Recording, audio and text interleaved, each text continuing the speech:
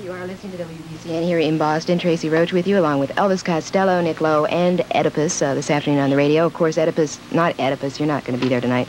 Um, Nick Yeah, and no. Elvis are going to be at the Orpheum tonight doing a show along with Mink DeVille and uh, Dave Edmunds, who will be playing with uh, Nick's band. And Nick, that's something I do want to talk to you about. Um, Nick Lowe's been around for years and years and years and years doing music and stuff. As many of you know, he was uh, mail.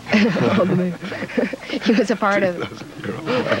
He's been a part of Dave Edmunds' band, and uh, uh, gosh, Brinsley Schwarz produced a lot of those albums, played on those, wrote songs for them. Graham Parker, you've produced Elvis's two albums, and now you've done one all of your own.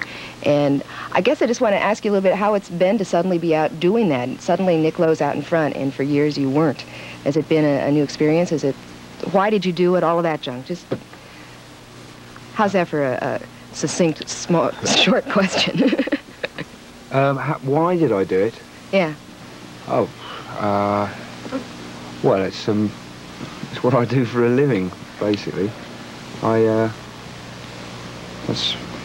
I don't really understand your question, actually. Well, basically, just being in the background for so many years in a lot Oh, of yeah. ways. I mean, Nick always seemed like you'd spend most of your time making other people's records sound good, Oh, the see, production. yeah. Now you're doing your own. I mean, now it's Nick who's going to be out on stage tonight performing up front, leading the band rather than being one of the members and a, and a back working part of it. You know what I'm saying? Oh, I do. and just yeah. why, why, and how does that feel doing Well, I, that? I suddenly wasn't in the background on purpose, you know, before.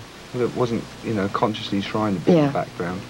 Um, it's just that um, prior to the last uh, six months, So for all this time, and do you feel like it's something new and something fresh, and that you've broken through to it, you know, a new dimension in rock and roll at all, or is this just uh, well, I, I don't. why didn't you lose your sense of humor? You know that kind of. thing? Oh, it's very hard not to, you know, to lose a sense of, sense of You've got to have a sense of humour about it nowadays, otherwise you turn out, you'll start sounding like Journey or something like that.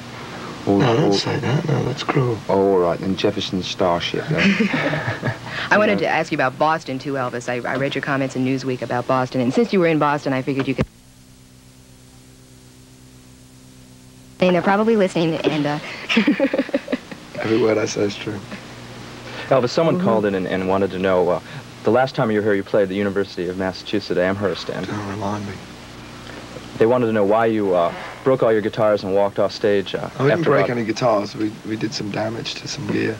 Basically because we're a professional band and we, our contract says that we have to play a set of an accepted length to a professional standard.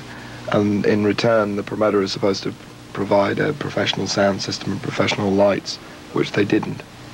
And it's very annoying when um, it's bad enough when you play in a, a place where there's a lot of apathy and, and the audience is, uh, doesn't seem to understand what you're doing or doesn't want to know.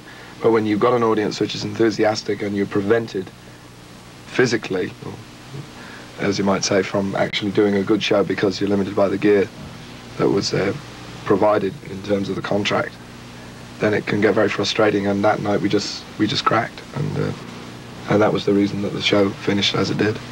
what about shows in general? Also, we nearly got arrested later on uh, by the Massachusetts police the next morning when the uh, when the very courteous people at Amherst University decided that we hadn't paid the bill and called the police. Well, there's, a, In there's fact, also every time we come to Massachusetts, I was just we, seem say, to, we seem to get in trouble. the Paradise, the I- I- Rat, you yeah. know, all of it. you have been invited uh, back to the Rat. Oh, it wasn't, you know, I mean, it, oh, yeah, I mean, I can hardly wait. In fact, we've got a copy of that article. You were written up.